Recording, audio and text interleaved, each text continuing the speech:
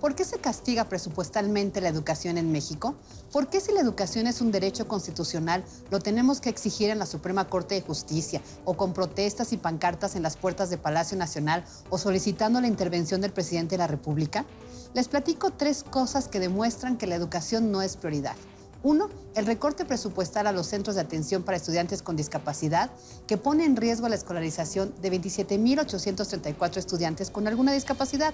Dos, la Secretaría de Hacienda informó que no hay recursos para el pago de salarios y aguinaldo de 2.800 maestros de prepa en línea. Tres, tijeretazo del 52% a las escuelas de tiempo completo. ¿Cómo superaremos la pobreza y la desigualdad si la prioridad no es la educación para todos?